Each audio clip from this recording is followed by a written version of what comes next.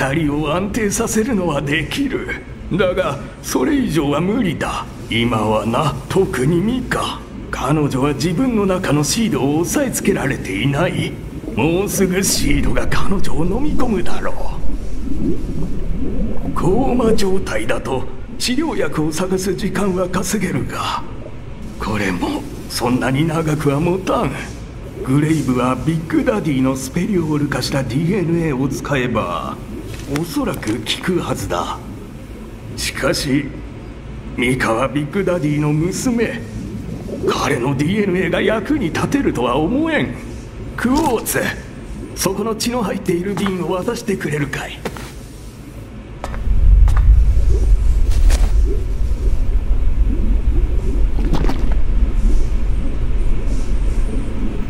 グレイブの椅子に差し込んでくれ。空いてりゃどこでもいい。あとグレイブの状態を見ててくれ。俺は少し休ませてもらう。